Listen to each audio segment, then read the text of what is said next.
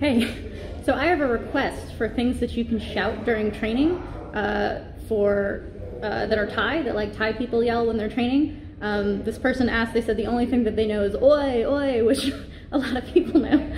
But uh, some fun ones are tang, tang, which is when you knee. Uh, it means like to stab, or you can siap when you get like a straight knee into someone's gut. You can say siap, which means like to skewer.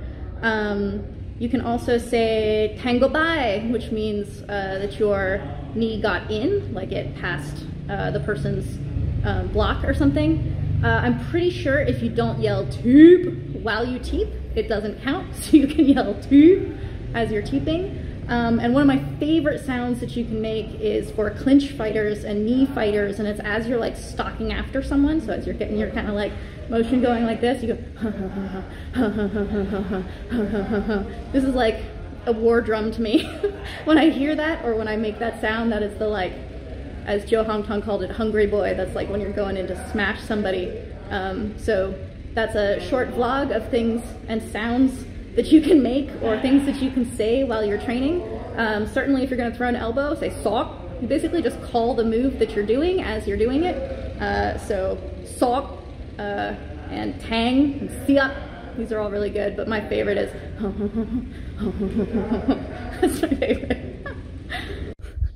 all right, so there are some more things that you can uh, yell and add into your training as um, Thai phrases or words that you say in order to uh, play with the person you're sparring with or holding pads with or something. So um, here are some of my favorites.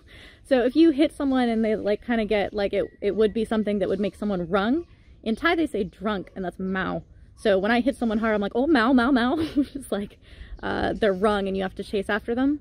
You can also say the word for doctor, which is maw, which is like if someone's cut. Uh, so you're like maw, maw, which is like stop the fight and go check the doctor.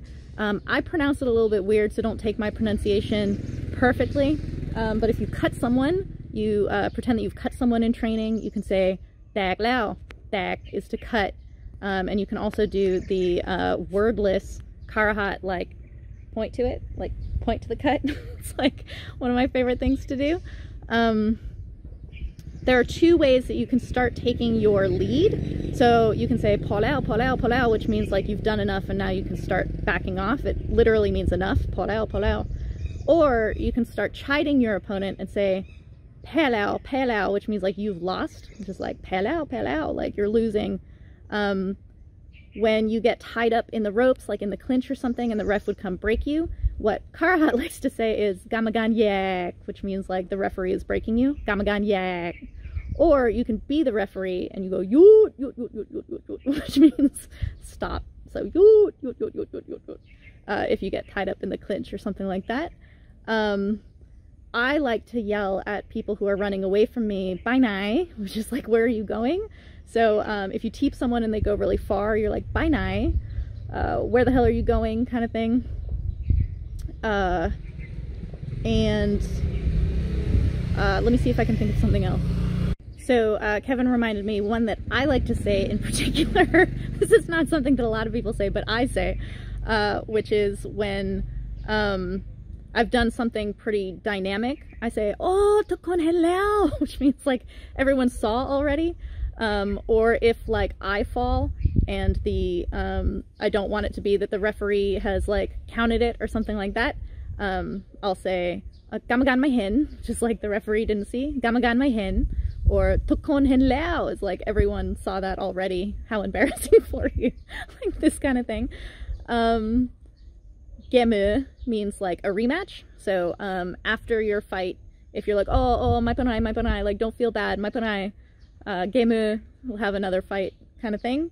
Um, and then I don't know if it's only female opponents or if it's because I'm Farang or whatever, but some of my opponents, um, when you're hugging between rounds four and five, um, to, you you have to like hug to like go into the fifth round. And so like let's be sportsmen about this. They'll say, okay, sorry.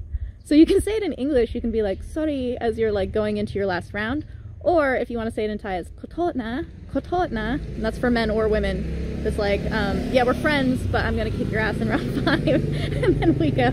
So uh, those are a few more things that you can say while you're messing around uh, in your training to make it more playful and fun and uh, play with your Thai trainers or play with some Thai while you're training.